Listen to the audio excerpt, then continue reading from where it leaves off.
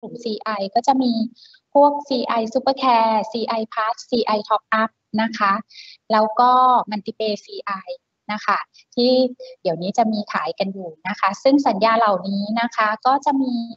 ความคุ้มครองนะคะ ทั้ง Early CI แล้วก็ Severe CI นะคะที่ให้ความคุ้มครองอาจจะน้อยกว่าในกลุ่มแรกนะคะ ซึ่งตัวนี้ก็เป็นสัญญาที่มีอยู่เดิมเก่าแล้ว ถ้าตัวแทน หลายท่านที่ขายมานาน ก็จะรู้ว่าตัวนี้มีขายมานานแล้ว ก็จะเป็นเมื่อก่อนอาจจะชื่อว่า Cancer Rider นะคะหรือ CR แต่ปัจจุบันก็มีเปลี่ยนชื่อมาเป็น AAA Health Cancer นะคะ ความคุ้มครองก็จะมีอยู่ประมาณ 7 โรคด้วยกันนะคะ ซึ่งความคุ้มครองตรงนี้ก็จริง ๆ มันก็มีเรื่องของมะเร็งนะคะ ซึ่งแบ่งเป็นระยะไม่ลุกลามแล้วก็ลุกลาม แล้วก็มีกลุ่ม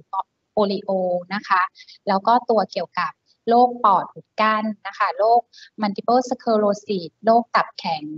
นะคะ แล้วก็เนื่องจากว่าตัวสัญญามันมีเยอะ แล้วก็ทางตัวแทนบางทีก็อาจจะเคยไปขายทางลูกค้านะคะ ถ้าลูกค้าของเราเป็นลูกค้ากลุ่มที่สุขภาพแข็งแรงดีนะคะ หรือว่าอาจจะ มีรายได้โอเค ไม่มีปัญหาอะไร เราก็คงสามารถที่จะพิจารณา หรือว่านำเสนอเคสเข้ามา เพื่อให้อนุมัติได้อย่างเร็วขึ้น เนื่องจากว่าไม่มีปัญหาสุขภาพอะไร แต่ในบางครั้งนะคะ ลูกค้าที่เราไปขายก็ไม่ได้มีสุขภาพดีไปซะทุกคนนะคะ บางคนก็มีโรคก็อาจจะมีคำถามว่าเอ๊ะโรคนี้จะสามารถขายได้หรือเปล่า ซึ่งบางบางทีที่เคยคุยกับทางตัวแทนหลายท่าน ก็อาจจะมีข้อสงสัยว่าโรคนี้ถ้าจะสมัครสัญญาตัวนี้เข้ามาได้ไหม โดยเฉพาะสัญญาเกี่ยวกับโรคร้ายแรง บางทีค่ารักษาขายไม่ได้ แล้วจะขายสัญญาโรคร้ายแรงได้ไหม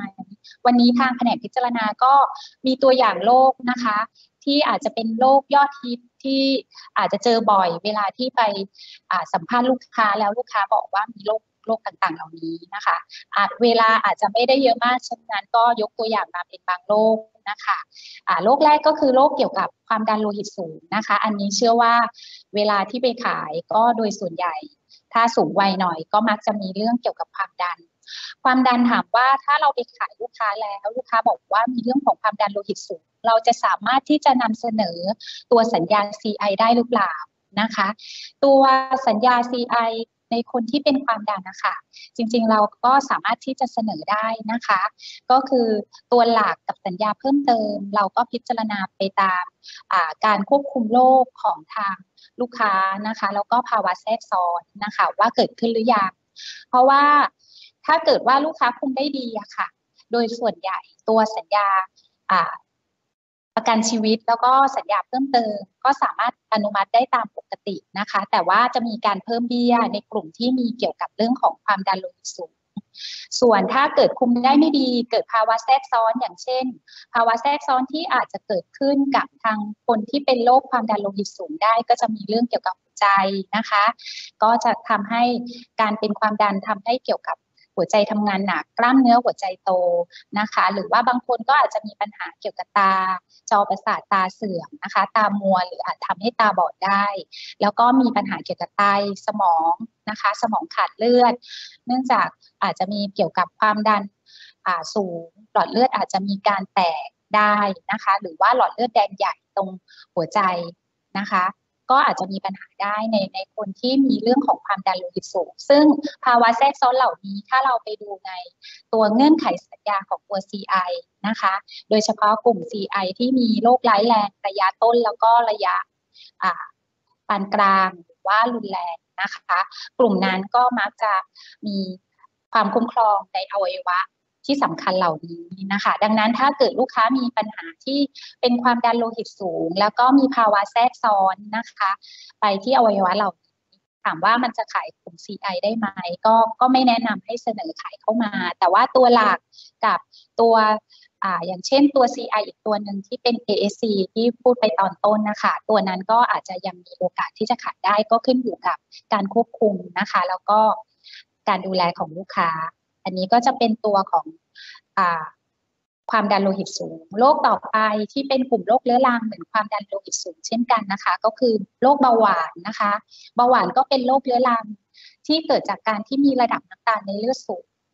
จากการที่อาจจะพ้องอินซูลินหรืออินซูลินทำงานผิดปกตินะคะ ซึ่งตัวเบาหวานนะคะ ก็มีหลายชนิดนะคะ บางคนอาจจะมีภาวะน้ำตาลเกินก็ได้ แต่ยังไม่ถึงขั้นเป็นเบาหวานก็มีนะคะ กรณีนี้ขอพูดในกรณีที่เป็นโรคเบาหวานเลยนะคะ ถูกวินิจฉัยว่าเป็นเบาหวาน แล้วก็การพิจารณานะคะของกลุ่มที่เป็นเรื่องของตัวเบาหวานนะคะ จะสามารถซื้อ CI ได้ไหม อันนี้ก็มีคำถามเวลาที่ลูกค้า บอกเราว่าเป็นเรื่องของเบาหวานจะขายได้หรือเปล่านะคะ โดยปกติแล้วเบาหวาน ก็จะสามารถพิจารณาได้ก็คล้ายๆ กับตัวเรื่องของความดันโลหิตสูงนะคะ ก็คือโดยปกติก็จะซื้อตัวแบบประกันชีวิตนะคะ แล้วก็ตัว ASC แต่ถ้าเป็นกลุ่มโรคร้ายแรงที่เป็นกลุ่มตัว CI ที่มีเรื่องของ early stage หรือว่าตัวที่มีเกี่ยวกับ severe stage อันนี้ไม่ไม่แนะนำนะคะ ของตัวเบาหวานอาจจะไม่เหมือนตัวความดันที่อาจจะขายได้ทุกสัญญาขึ้นอยู่กับการควบคุม และถ้ายังไม่มีภาวะแทรกซ้อน แต่ถ้าเป็นเบาหวาน แนะนำว่านำเสนอเฉพาะตัวแบบประกันชีวิต แล้วก็ตัว ASC อาจจะมีโอกาสนะคะในการที่จะซื้อได้ ถ้าไม่มีอาการแทรกซ้อนจากเบาหวานที่รุนแรงนะคะ ก็ เบาหวานก็ภาวะแทรกซ้อนจริง ๆ ก็ไม่ได้แตกต่างไปจากตัวเรื่องของความดัน แต่อาจจะมีโอกาสนะคะ ที่จะเกิดภาวะแทรกซ้อนได้ง่ายกว่า แล้วก็มีโอกาสเพิ่มเติมอย่างเช่น บางคนมีเบาหวานขึ้นตาได้ง่ายกว่า แล้วก็มีเรื่องของปลายประสาท เสื่อมได้นะคะ บางคนอาจจะเกิดแผลที่เท้า เนื่องจากว่าบางทีปลายประสาทเสื่อมไม่มีความรู้สึกตรงบริเวณอวัยวะตรงส่วนนั้นไปโดนอะไรเข้าก็อาจจะไม่รู้ตัวบางทีเป็นแผล แล้วก็เนื่องจากเป็นเบาหวานแผลก็จะหายช้านะคะ โอกาสที่จะต้องตัดนิ้วตัดขาหรือตัดอวัยวะส่วนนั้นทิ้งมันก็มีสูงนะคะ ดังนั้นตัวเบาหวานก็เลยเป็นโรคที่กลุ่ม CI อาจจะขายได้ยากก็คือขายไม่ไม่ได้ว่าขาย ได้ยากนะคะ ก็คือถ้าเป็น CI ที่เป็นกลุ่มที่ขายโรคร้ายแรงนะคะที่ไม่ใช่ตัว ASC อะค่ะ โดยปกติจะอนุมัติไม่ได้นะคะ ส่วนตัวเบาหวานกับตัวเรื่องของความดันนะคะ เอกสารที่ต้องนำส่งก็จะคล้ายกันก็คือต้องนำส่งแนบเข้ามาพร้อมกับการนำส่งไปสมัครอะค่ะ หลักๆแล้วก็เน้นที่ประวัติการรักษา ถ้าเกิดว่าลูกค้ามีประวัติการรักษาอยู่เป็นประจำนะคะ แล้วก็ในบางคนถ้ารักษาตามศูนย์อนามัย อาจจะมีสมุดประจำตัวของคนไข้ ไม่ว่าจะเป็นเบาหวานเป็นความดันนะคะ ก็สามารถแนบเข้ามา แล้วก็ในกรณีโดยส่วนใหญ่ก็ต้องมีการตรวจสุขภาพร่วมด้วยนะคะ แล้วก็ตอบคำถามทั้งถ้าเป็นความดันก็ตอบความดัน ถ้าเป็นเบาหวานก็ตอบคำถามเกี่ยวกับเบาหวานนะคะ อ่าส่วนถ้าบอกว่าจะไม่ตรวจได้ไหมก็ต้องขึ้นอยู่กับประวัติการรักษานะคะโรคถัดไปกลุ่มโรคเรื้อรังอีกตัวหนึ่งนะคะ ก็คือกลุ่มโรคเกี่ยวกับหลอดเลือดสมองนะคะ หลอดเลือดสมองก็โดยส่วนใหญ่ก็มักจะมีภาวะที่ขาดเลือดไปเลี้ยง หรือว่าอาจจะมีอาการแตกก็ได้นะคะ ซึ่งถ้าเกิดว่ามันมีการขาดเลือดไปเลี้ยงจากการที่ตีบ หรือว่าอุดตันหรือว่าแตกนะคะ ก็จะทำให้สมองนะคะขาดเลือดแล้วก็อาจจะอันตราย บางคนอาจจะมีอาการชั่วขณะนะคะ บางคนก็กลายเป็นอัมพฤกษ์อัมพาตแล้วก็บางคนก็อาจจะเสียชีวิตได้อย่างกระทันหันเลย ในคนที่เป็นเรื่องเกี่ยวกับโรคสมองอหลอดเลือดสมองนะคะ ซึ่งกรณีของคนที่เป็นโรคหลอดเลือดสมองก็จะเป็นกลุ่มหนึ่งที่อยู่ในกลุ่มโรคร้ายแรง นะคะ จากที่เราไปดูในเงื่อนไขของสัญญานะคะ ตัวนี้ถ้ามีคำถามจากลูกค้าของเราว่าที่บ้านมีพ่อแม่หรือใครที่เป็นโรคหลอดเลือดสมองจะซื้อตัว CI Rider ได้หรือเปล่านะคะ โดยปกติแล้วตัว CI Rider ถ้าเป็นโรคหลอดเลือดสมองแล้วมักจะไม่ได้อนุมัตินะคะ ก็ถ้าจะพิจารณานำเสนอขายลูกค้า แนะนำว่าพิจารณาตัว เสนอขายตัวหลักแล้วก็ AAC นะคะมีโอกาสที่จะรับมากกว่า ซึ่งการที่จะรับก็โดยส่วนใหญ่มักจะดูที่ความรุนแรงของโรคนะคะพยาธิสภาพ แล้วก็ระยะเวลาที่ลูกค้ามีอาการมาก่อนว่าเป็นอย่างไรนะคะ ส่วนบางคนอาจจะไม่เคยเป็นถูกวินิจฉัยว่าเป็นโรคทางหลอดเลือดสมอง แต่อาจจะมีอาการบางอย่างนะคะ อย่างเช่น บางคนอาจจะมีอาการในเรื่องของปวดศีรษะรุนแรงสับสน พูดลำบากนะคะ หรือว่าอาจจะเห็นภาพซ้อน มีภาวะกลืนลำบาก เดินเซชาตามใบหน้านะคะอ่าแล้วเวียนศีรษะนะคะ ทรงตัวไม่ได้ อาการเหล่านี้ถ้าเกิดขึ้น บางครั้งมันก็เป็นอาการเตือนของโรคทางหลอดเลือดสมองนะคะ ซึ่งตรงเนี้ยการพิจารณาบางที ทางผู้พิจารณาเขาก็อาจจะต้องพิจารณาคล้ายๆ กับกลุ่มหลอดเลือดสมองด้วยก็ได้นะคะ ซึ่งตรงเนี้ยเราก็ต้องแนบประวัติการรักษาเข้ามา แล้วก็ตรวจสุขภาพเข้ามาให้ทางผู้พิจารณาเขาดูเรื่องก่อนนะคะ